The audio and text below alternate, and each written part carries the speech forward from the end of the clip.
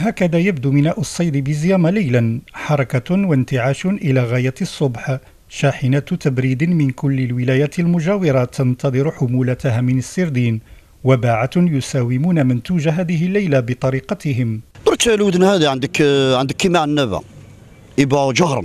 مي مع النبا لهنا الغرب كلش يباعوا مسكيك لهنا. يباعوا يسموا بالودن. مي مسكيك دل هي يسموا يسموا جهرا الزبون عليه أن يقترح الثمن في أذون رايس السفينة بعيدا عن أذان المنافسين وللرايس يعود القرار الأخير. كل واحد يعطي سومه في الوذن سرا كما يقولوا. وسما اللي يعطي السومة الكبيرة هو اللي يدي الحوت. والمونداتار توجور يحكم السومة الكبيرة في وذنه سما توجور يحط السومه الكبيرة. ليلة لم تكن مذرة للصيادين ولا لباعة الجملة ما يعني أن الإنتاج قليل والثمن مرتفع.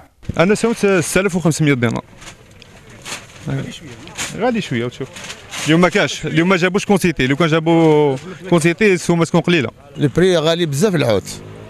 على بالك يا كرون مونك البحر خامج بالبلاستيك لي بوبال كاع راح رايح للبحر الكل évidemment الحوت نقص بالبزاف ما ينقص الحوت ولا حد. طقوس البيع والشراء ليست وحدها المثيرة فلسكان المنطقة أيضا طقوس أخرى فالميناء على ما يبدو مزارا ليليا فيه من المتعة الكثير. هذا ça fait partie du du du quotidien تاعنا. آه même تغيب هنايا على عام عامين ثلاث سنين كي تجي pour une journée il faut faire un saut هنايا بلا وحدك c'est systématiquement tu fais le tour حنا دوك كي تجي هنايا دوك هكذا في هذا الوقت هذا كي كي يدخلوا البحرية فهمت؟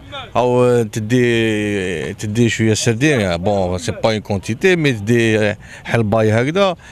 directement la grillade parce que السردينه هذيك تكون فريشكا. بعد طلوع الفجر ستعود السكينة للميناء لتعود الحركة من جديد بعودة الصيادين ليلا وتعود الطقوس في كل الأحوال.